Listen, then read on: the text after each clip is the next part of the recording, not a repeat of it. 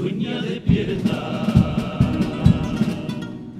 Con un país de justicia y de libertad.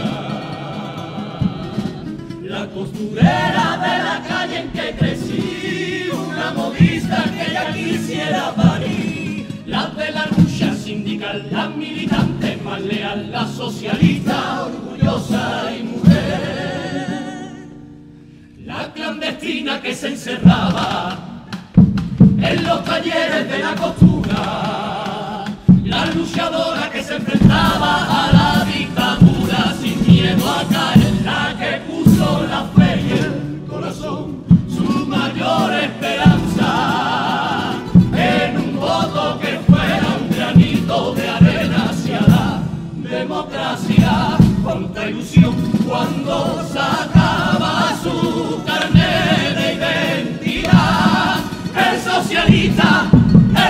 socialista, el socialista, como aquel que saca una parte de su vida, su guerra y su conquista, pero aquella mañana al despertar,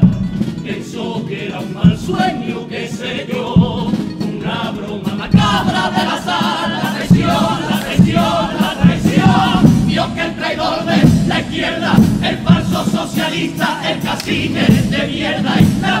por tijera que gobierna mi tierra, le habían dado el poder a la derecha. Y aquella costurera, como arrancando dolores, fue cortando en mil pedazos con su tijera, con su tijera, con su tijera.